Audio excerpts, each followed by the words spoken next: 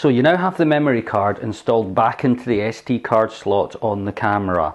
Now you power on your transmitter, plug in your tablet, power on the tablet's app and get it to the into the camera mode and then you turn the model itself on.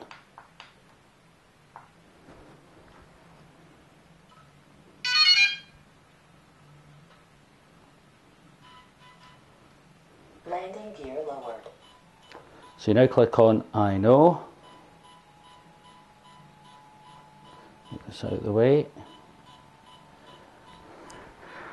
Now you may find now that the model itself has entered into the update mode but it's just going to start sitting bleeping but there's nothing actually happening on the tablet itself. So you will soon get a message saying that the firmware or the firmware upgrade has timed out. So you now have your message saying that the upgrade firmware has timed out. So what to do is turn your model back off, let that power down. Now what to do is to turn the controller off. Then what to do is to turn the model back on. And turn the controller back on. And then you will now find that you're actually partly through the uh, just close that down and you'll find you're actually partly through the upgrading process for some reason I don't know why but sometimes the uh, uh, the tablet can actually cause a small problem um, and prevent the firmware from upstarting. But when the tablet and controller are disconnected from the model, the calibration, the uh, update will start as per normal, and then you can just let that progress as per normal. The, at this stage, the camera itself will actually go limp, and you'll get this unusual beeping noise.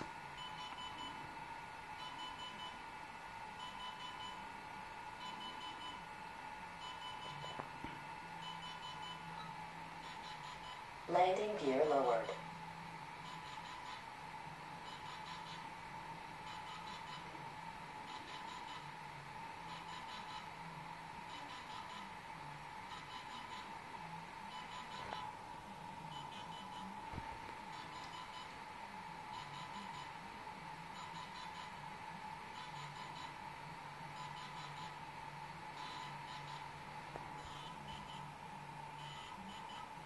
So now your update is uh, completed, the model will basically reboot itself.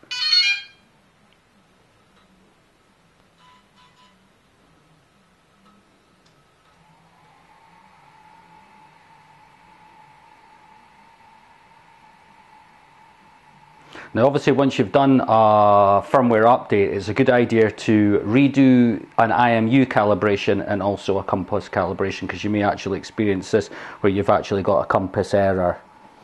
So we can, if we look, say, so we've got firmware normal is up, is in the latest one, but we've obviously got an abnormal compass calibration there, so we'd want to go through the actual compass calibration. Okay, so hopefully that'll help you if you have had some issues updating your firmware where it's been timing out. If you just simply switch off the controller, uh, close down the app, power the model back up and allow it to start the uh, firmware update itself and then switch the transmitter back on, uh, connect up your tablet, boot up your uh, app and this could either be on the Android app or the uh, Apple iOS app and then you should be partly way through your um, update. And of course that was just a model update. If there were a battery update it would do that as well. And of course if you need to do an update on your transmitter although they don't seem to come out very often then uh, certainly you just take the card out of the model and then put it into a USB adapter and then plug it into the transmitter. Now if you have got a transmitter update to do as well as the model do the first and then the transmitter I think in the instructions it says to do it the other way around, but you're actually better doing the model first and then the controller. Um, I'm Rick from Marionville Models. Uh, hope uh, this is of help to you. You can subscribe to my YouTube channel for a lot more how-to videos on the uh, DJI Inspire. Thanks very much. Bye.